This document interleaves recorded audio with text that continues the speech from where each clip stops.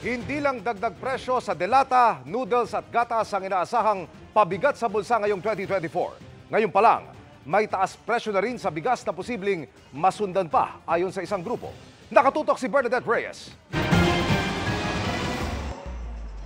Katatapos pala ng sunod-sunod na gastos noong holiday season, may dagdag gastusin na naman pagpasok pa lang ng bagong taon. Ang well-milled rice tumaas na ng 2 pesos kada kilo imported man o local ayon sa samang industriya ng agrikultura. Sa tala ng Department of Agriculture, nasa 40 hanggang 55 pesos ang presyo ngayon ng well-milled rice sa mga pamilihan sa Metro Manila.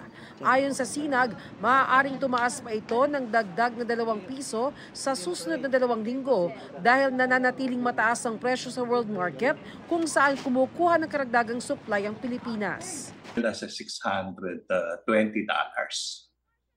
per metric tons dahil sa uh, ano na El Nino. May parating na bigas na imported pero ang problema nga mata- mataas pa rin ang presyo sa sa international market. So we cannot expect na talagang bababa ng uh, um, mababang mababa yung presyo. So hopefully yung makuha natin na ibang sources ay mababa yung presyo. Sa ngayon, we need to secure talaga yung uh, supply. Uh, alam natin na magkakaroon din ng El Nino so there will be additional challenge doon sa level natin ng productivity. Nagbabadya rin magmahal ang canned sardines, canned meat, instant noodles, gatas, kape, bottled water, asin at mga sausawan.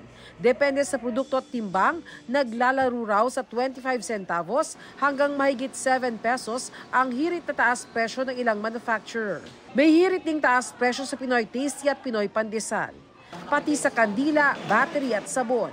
Ayon sa DTI, 2023 pa, nag-file ang mga manufacturer ng hirit na taas presyo pero pinakiusapan nilang ipagpaliban ito. Kasalukuyan pong nakikipag-usap, nakikipagtawaran ang DTI sa mga manufacturers kung paano kumbaga magkita sa gitna. Ngayong 2024, um, hindi na po mapipigilan kasi kung maiipit ang mga manufacturers, yun nga ay matatamaan ng mga trabaho. Barya kung tutuusin pero mabigat daw ang nakaambang taas presyo para sa mga mamimili at maliliit na negosyo. Dalawa kami ng asawa ko naghahanap buhay. Yung mga hindi dapat na anuhan na pagkakagastusan na ano, yun na lang ang alisin. Yung puna namin, dagdagan namin unti kasi tataas po ang presyo ng bilihin.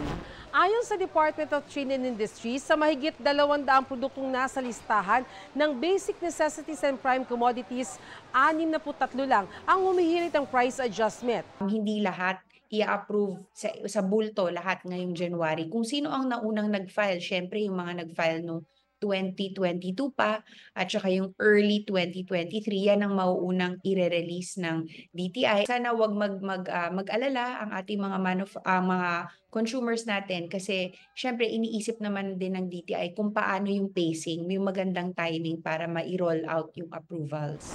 Para sa GMA Integrated News, Bernadette Reyes, nakatutok 24 oras.